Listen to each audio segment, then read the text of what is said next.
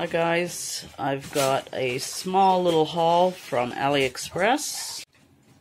So the inner bag is a Ziploc and it took about three weeks to get here.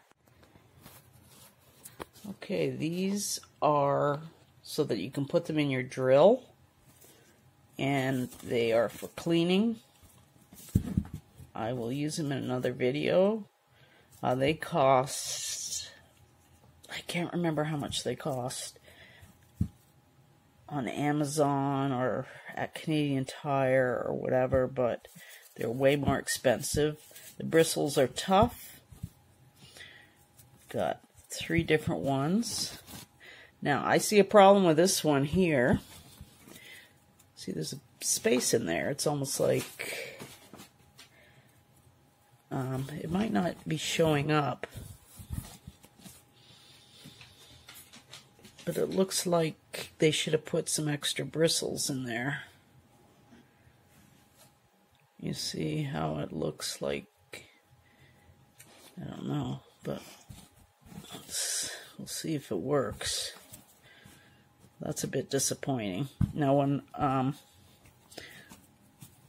uh, let's see, when I opened the package, one of the bristles, I had to actually pull it out from the plastic that was there and I can't push it back in.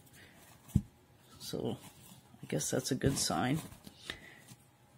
So I don't know if all the sellers are like this, but I don't really like the fact that there seems to be like a bald spot in there. So I can't really say that I recommend the seller.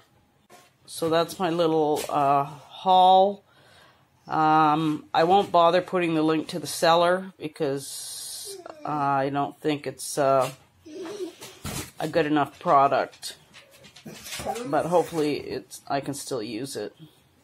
So thanks so much for watching and have a great day.